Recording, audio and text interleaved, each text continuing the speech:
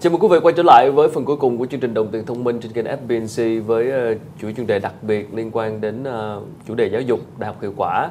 Uh, và chủ đề chúng ta thảo luận ngày hôm nay đó là vấn đề những hoạt động ngoại khóa dành cho sinh viên.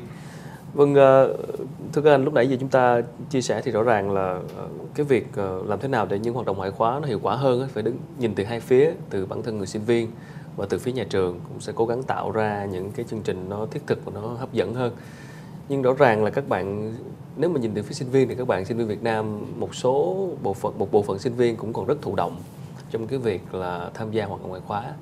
Thì không biết là kinh nghiệm thực tế ở các trường thì mình làm thế nào để có thể cuốn hút các bạn hoặc là thu hút các bạn nhiều hơn? Mình đang có những cái giải pháp gì? Xin mời trường UF đối với trường UF chúng tôi thì ở những cái buổi hội thảo á, đây là một cái nội dung bắt buộc mà các em phải tham gia. Thì à, trong quá trình mà đánh giá môn học á, thì chúng tôi cũng lồng ghép những cái cái buổi này vào trong cái môn học mà các em à, được tham gia học ở nhà trường. Thì các em sau cái buổi hội thảo các em phải viết những bài thu hoạch ừ. và báo cáo lại cho giảng viên à, đứng lớp. À, ngoài ra thì trường chúng tôi có một, có một có một cái thuận lợi đó là ngoài giảng viên chính đứng lớp thì chúng tôi có một cái hệ thống cái trợ giảng hỗ trợ cho cái việc các em tham gia vào cái hoạt động đó. Ví dụ như các em uh, cần hỗ trợ liên quan đến cái nội dung về thảo luận một cái đề tài nào đó mà giảng viên chính đứng lớp đưa ra thì uh, cái cái cái giảng viên trợ giảng cũng có thể hỗ trợ các em hoặc là uh, các em có cần uh, một cái nội dung bổ sung kiến thức hoặc là hiểu rõ hơn kiến thức mà các em chưa được hiểu rõ hoặc là chưa kịp hiểu rõ ở trên lớp thì các em cũng có thể um, hỏi cái giảng viên trợ giảng này yeah.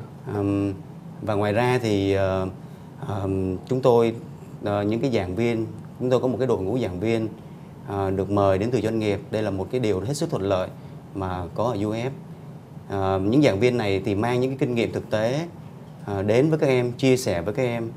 Thì đó là những là cái hành trang tốt nhất để các em có thể uh, cung cấp bổ sung kiến thức cũng giống như là tự các em có thể đánh giá được uh, những cái kỹ năng nghề nghiệp nào cần thiết cho các em cũng như là định hướng cái nghề nghiệp sau này các em có thể tham gia vào cái ờ, cái thị trường lao động và khi các em tốt nghiệp ra trường. Ờ, các ờ, các giảng viên thì ở chuyên ngành tôi thì đến từ doanh nghiệp thì, hoặc là đến từ các định chế tài chính thì đang giữ những cái vị trí trưởng phòng hoặc là vị trí quản lý mà các giảng viên đang phụ trách. Không biết là theo kinh nghiệm của các anh thì các nhà tuyển dụng họ đánh giá thế nào về cái kinh nghiệm ngoại khóa của các em? Tức là những em nào mà có tham gia ngoại khóa tốt thì được đánh giá ra sao đối với trong mắt các nhà tuyển dụng?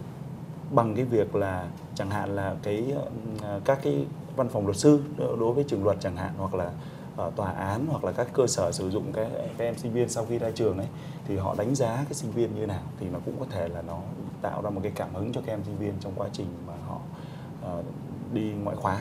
Chẳng hạn là tôi cho rằng là nếu ngay từ sinh viên mới ra trường mà các cái cơ sở sử dụng uh, lao động đó đã đặt quá cao về vấn đề chuyên môn thì cũng là gây ra một cái áp lực rất lớn với các em ừ. cho nên tôi nghĩ lúc đó câu chuyện cũng có thể là hãy đánh giá các em về cái thái độ đúng không ạ bởi vì là cái thời gian các em ở trong trường thì với một cái thời gian 4 năm như vậy đúng không ạ thì cái việc thu lượm các cái nội dung có thể nó cũng còn một đôi phần hạn chế yeah. thế thì như vậy thì hãy cho các em một cái cơ hội đúng không ạ hãy đánh giá cái thái độ của em là sẵn sàng đương đầu với những khó khăn sẵn ừ. sàng tiếp tục học tập sẵn sàng tiếp tục là lắng nghe tiếp thu những ý kiến thì đấy cũng là một cái cũng, cũng rất là cần ờ, cần cần cần quan tâm. Yeah. Thì tôi cũng nói luôn một cái ví dụ như này là cái sự cái mối quan hệ giữa ba phía là giữa sinh viên nhà trường và cái cái cái, cái nơi mà các em sẽ đến để thực tập để ngoại khóa hoặc để để làm việc sau này ừ. là ví dụ trường luật cũng có cả một cái hoạt động là làm sao ở bên ngoài giảng đường đưa các em đi thực tập đưa các em đi làm quen ấy là ở nước ngoài vừa rồi trường có tổ chức một cái khóa dẫn các em sinh viên qua bên Singapore.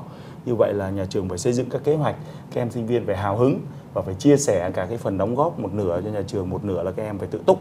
Ừ. và sau đó là công tác làm rất là tốt đối với cái, cái đơn vị là các cái tòa án các cái uh, trường đại học đúng không ạ? Các cái doanh nghiệp.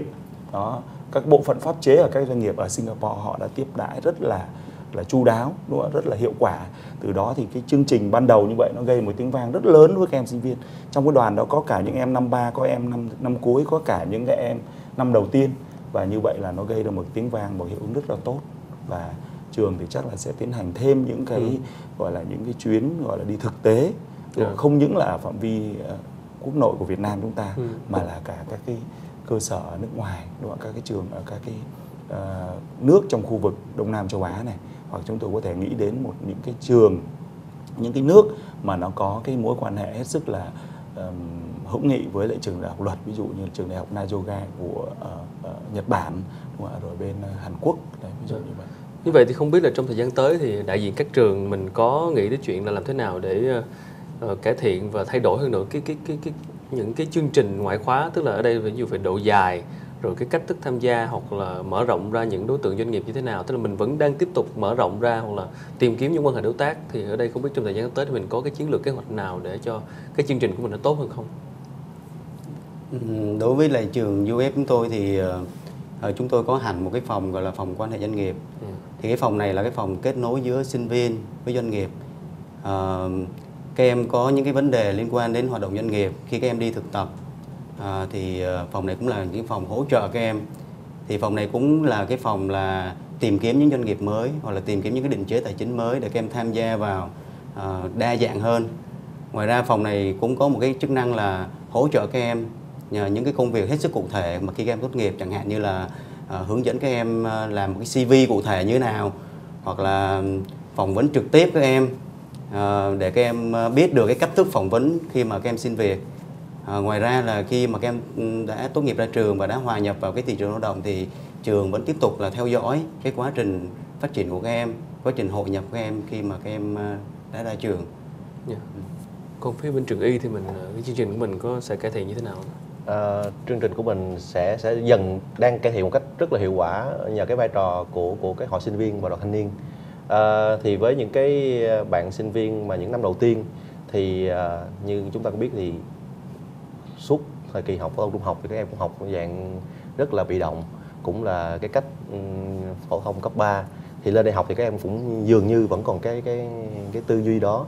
Do vậy thì à, cái vai trò của hội sinh viên và đoàn thanh niên là sẽ à, đến từng lớp, từng cái nhóm sinh viên à, xác định lại cái nhu cầu của họ muốn gì khi mà tham gia học tập tại trường đại học y Hoàng Thạch muốn trang bị thêm cái kiến thức nào, kỹ năng gì thì cái vai trò của hội sinh viên và đoàn thanh niên sẽ sẽ đi đến những cái nhóm sinh viên đó và thu thập lại một cái thống kê thu thập lại những cái mong muốn những cái điều mà sinh viên năm nhất mong mỏi.